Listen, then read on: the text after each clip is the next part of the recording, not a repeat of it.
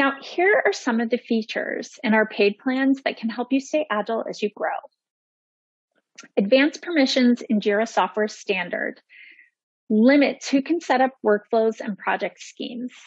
In Confluence Standard, space and page permissions allow you to work on documentation privately with individuals or small groups while it's in progress. And this allows you to vet your plans and get buy in with the small team before sharing it out with everyone. Today, Joyce shared how her team at Atlassian uses automation in Jira to auto populate her team's templates for bugs, spikes, and stories. Our free and standard plan on Jira allow you to use automations for single projects. Now, with Jira Software Premium, you can set global and cross project automation rules. And automation is coming soon to Confluence too, and it's powered by the same automation engine as Jira.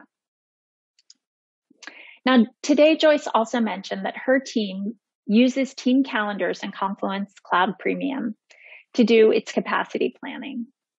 Team calendars creates a visual representation of when events are happening in your team. And by integrating with Jira software, you can get the complete picture of your capacity, including Jira requests and team events.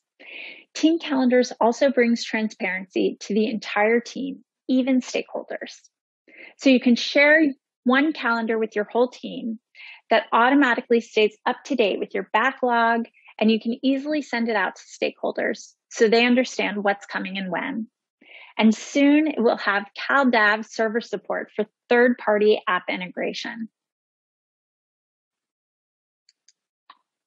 You can try standard free for 14 days or premium free for 30 days.